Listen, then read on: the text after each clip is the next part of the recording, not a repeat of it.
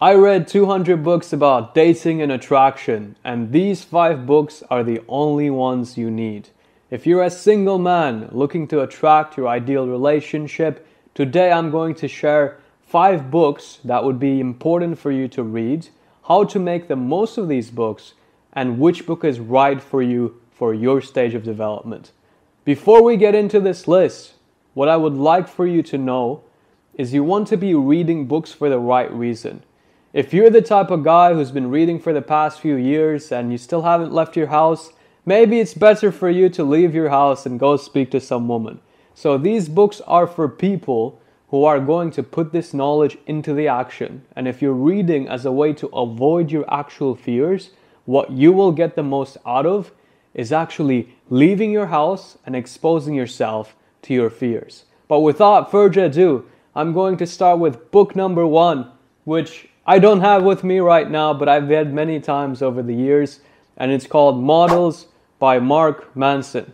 The reason I love this book is it gives you a very simplified strategy on how you can go to the right places to meet the right type of woman, how you can have a basic conversation and build abundance in your dating life. The pros of this book is it's very simple, it's very authentic, it doesn't have any sleazy strategies. It's literally about how to build the right beliefs and become an attractive human being while communicating your world. One of the parts that I really like is when it talks about neediness and how if you're out to meet people in the world, there will be people who will be drawn into your life. So it's not about changing who you are, but it's more about approaching enough people, putting yourself in enough situations so that you can meet your tribe. The cons of this book is it gives you the strategy, but it doesn't necessarily address the right mindset you should have to make the most of your dating life. And a lot of the problems men face in their dating lives are rooted in their mind because every belief we build affects the way in which we see reality. And if you have negative beliefs about women, you've seen too many ratchet podcasts, or you've been out at the club at 4 a.m. and just lost hope in humanity, guess what? Book number two is just for you. Book number two is The Alabaster Girl by Zan Perrion. I wish we had a discount link, but we'll get there at some point. The reason I love this book is Zan has very positive beliefs around women. Some might call him a romantic, some might call him a poet, some might call him delusional, but in a good way. And if you're someone who doesn't truly believe there's trustworthy people out there, there's women who are kind, compassionate, very sweet, and absolutely incredible who are willing to share life that you want to share with them, this is a great book to read. The way I recommend reading this book is actually a few pages daily. So treat this almost as like a self hypnosis. You're reading this book, you're getting these positive beliefs about women. One of the ways in which Zan talks about this topic is treating meeting people almost as an art form and recognizing the beauty in others. And what I found is when you're able to recognize the beauty in meeting strangers, whether that's women or people you want to socialize with, you tap into a different energetic space. You come into it with that energy of warmth and love. So, what you can do is to actually read this book in the mornings or read it before you go out to socialize.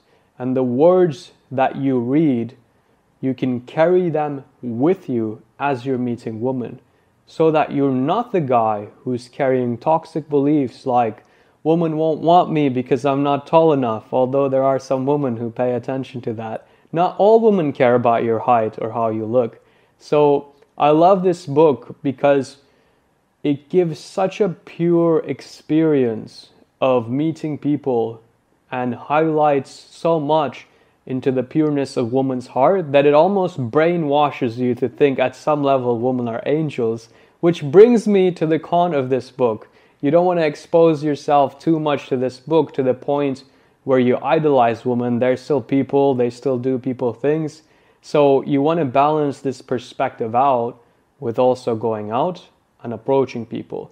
So, the ideal person who should read this book is someone who may feel a bit jaded by the world these days, jaded by OnlyFans and just the dating apps, and has lost a bit of faith in the dating scene. If that's you, read this book and it will give you a very positive outlook, which then you can carry to your conversations with people. On to book number three. This is another book about building the right beliefs and specifically picking the right reality because the truth is, according to reality transurfing, every reality is possible. And a lot of men believe that the reality in which they are attractive to their ideal type of woman is something they have to just fight for and create. And there is some truth to that. You know, if you're just at your home, you're not socializing much, you're not going out there and taking chances to meet people, you do need to get out of your house so that you can meet people. However, there's a way in which you can make reality work with you. And the reason I love this book is it almost makes a very scientific, rational case in terms of the existence of different levels of realities and how you can pick the one you want. And in a way, if you're very analytical and engineering minded, that explanation helps you see you can truly create the life that you want to create. And don't get me wrong, at the beginning, I was very skeptical of this, right? I was very skeptical with this book and the idea that, oh, yeah, this book tells me that I can transurf into whatever reality I want. And then I went on Amazon and I saw this book was $64 and I thought to myself, who can sell me a book for $64? That's quite expensive. And then I thought, what if this guy's reality transurfing me to buy this book at this price? So I got caught up in the curiosity and decided to buy the book so that you don't waste your time. But although this book is quite expensive, it is actually five books in one and I do recommend going through it yourself because it talks a lot about you know practices you can do such as really visualizing the thing you want in your life and then connecting your intention with it. So if you're like if you're at a point where you've read models right you've got the strategic understanding of how to meet women and then you combine that with the positive beliefs from the alabaster girl and then you add this bad boy, it's like adding a nitro to your car, which a lot of people in Texas unnecessarily do, but that's a topic for another time. So you want to read this book to understand how much control you have energy wise when you're speaking to people as well, because there's a strategic level to conversations in which you want to have the right plan, you want to make sure you're saying the right things and you're being playful in a respectful way and not necessarily in a calibrated way or in an uncalibrated way. However, you also want to understand your words carry energy. And what it talks about in this book is your actions also carry an energy. And a lot of men approach women with the energy of neediness and intensity. And what that does, it actually closes off opportunities for a woman to want to meet you. Because if a woman's feeling uncomfortable around you and she can kind of feel that you're talking to her because you want something and not necessarily because you're curious about her, then that's going to make her a lot more closed off to the opportunity to meet you. So, this book gives a very different energetic understanding of how to create your ideal reality. And speaking to women, building the dating life you want is also a version of creating that reality. So I recommend this for people who have had some experience with dating, who are having healthier beliefs with women. If you want to explore a more energetic way to converse and to communicate authentically with people, this will be a game changer. I'm definitely going to reread this again. And actually, me and my girlfriend are reading this book, which is why we have this tiny little pen right there. But on to number four. This book is an absolute game changer. Integral Relationships, a manual for men. The reason I love this book is it has a very good map when it comes to your compatibility with someone. So it goes into personality types, value developments, hobbies, different attachment styles, and how when you meet someone, you can kind of assess how compatible you are at different levels.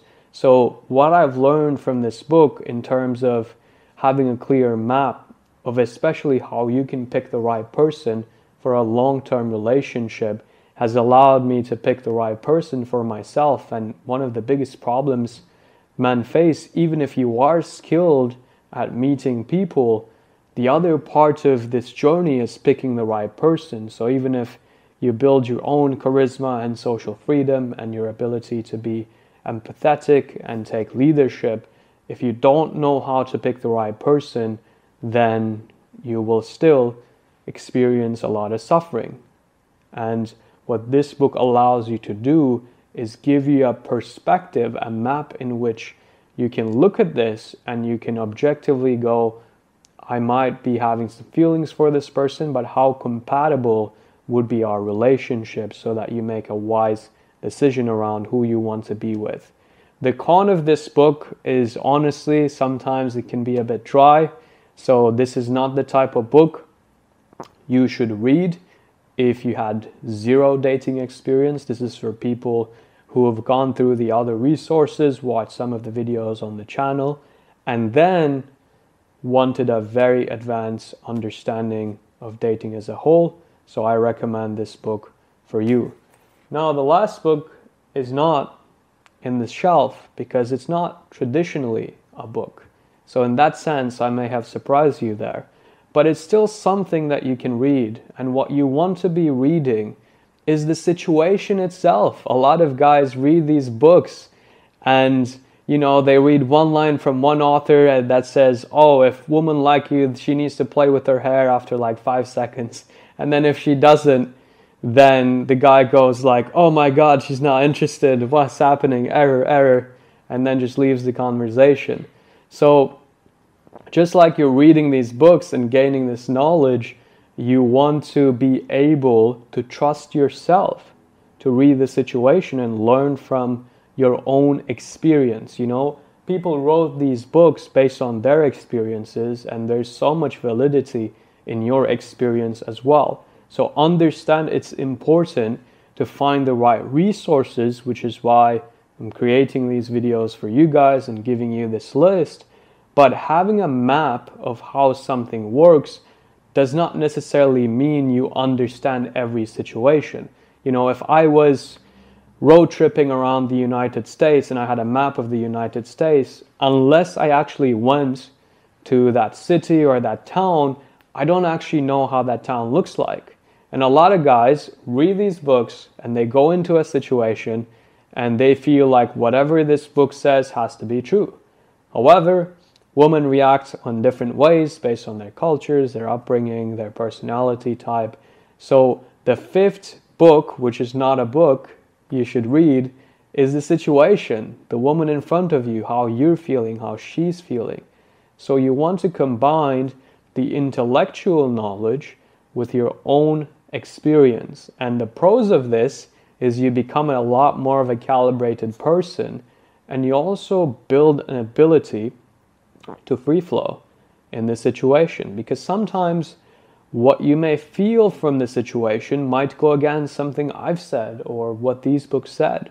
And in that sense, you don't want to be a prisoner to what someone says. You want to also treat this treat this journey and treat this social experience almost as an art form where you're able to make mistakes. And a lot of people think they cannot make mistakes, and it's completely fine to make mistakes here and there. So make sure you're reading the situation as well. The cons of this is it can be difficult to do, and that's where sometimes people decide to work with a coach. But these are my five books. So just to recap, models for you if you're just getting started and you're looking for a strategy. Second one, Alabaster Girl, best for you if you want to move towards healthier beliefs towards women. Third one, reality transurfing. Honestly, I think everyone, including my grandma, should read this book. Fourth one is integral relationships. This is how you find how to pick the right person and create a joint map of reality.